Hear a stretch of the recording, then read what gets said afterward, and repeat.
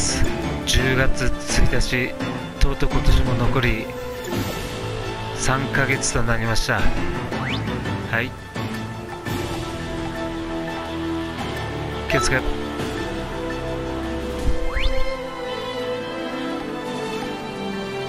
い。えー、おはようございます。えっ、ー、と残りね3ヶ月早いですね。もう今年1年が過ぎようとしてます。えっ、と今日の札幌の天気見てないです。すいません。多分晴れだと思います。晴れのち曇り。であの夏日が夏日一歩手前だと思います、え、風邪ひかないように今日も一日頑張って、えー、10月1日ね、えー、頑張りましょう。今日からもまた相方はまだね来ないんでね。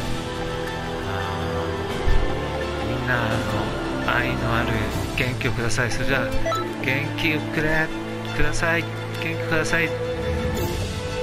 それじゃあ俺から元気玉ねぎファイティングナウ。イェイイェイイェイイェイって高島忠夫バイイェイ、えー、それじゃあね、えー、今日も一日歯磨いて手洗って遅刻しないで。